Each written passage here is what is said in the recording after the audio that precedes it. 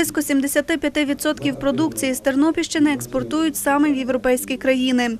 Тому економічна співпраця з країнами Європейського Союзу є важливою для області, наголосив під час зустрічі з заступником глави місії посольства Великої Британії в Україні заступник голови Тернопільської облдержадміністрації Василь Гецько.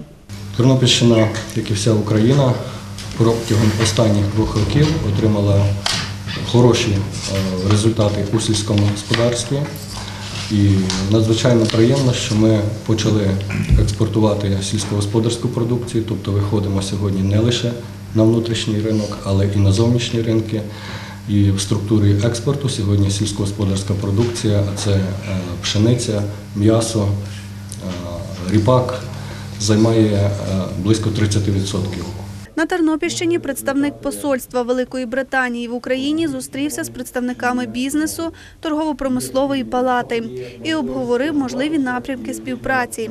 Йшлося і про процеси євроінтеграції України.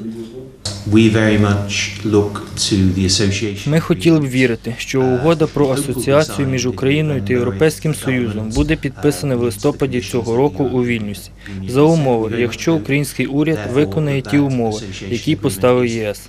Коли ця угода буде підписана, це буде перший крок на шляху України до вступу до членства в ЄС.